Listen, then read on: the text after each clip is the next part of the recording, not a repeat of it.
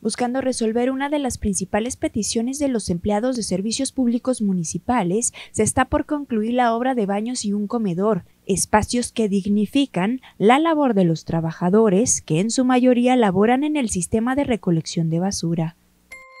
Ahorita estamos finalizando una obra dentro de las mismas instalaciones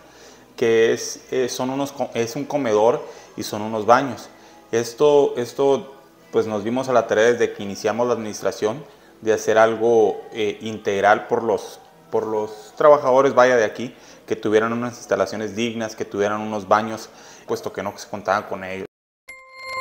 De acuerdo a la información proporcionada por el director de la dependencia, solo falta la llegada del equipamiento del área de comedor para que de manera oficial se haga la entrega de los nuevos espacios que requerían los trabajadores y que desde hace mucho tiempo solicitaban al no contar con un espacio digno donde poder comer y mucho menos sanitarios.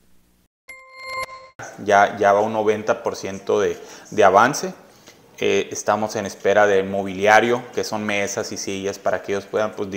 degustar de sus alimentos en los, en los horarios establecidos o al finalizar o antes de iniciar la ruta como tal. Para nosotros eh, nos llena de orgullo esa situación, puesto que al final del día ellos son quienes, quienes realizan el trabajo, ellos son la mano fuerte del ayuntamiento, ellos son la mano operativa, entonces eh, eh, derivado del esfuerzo y el sacrificio que ellos hacen, nosotros como, como dependencia podemos dar la cara a la ciudadanía, decirles que estamos comprometidos, que vamos a brindar un mejor servicio.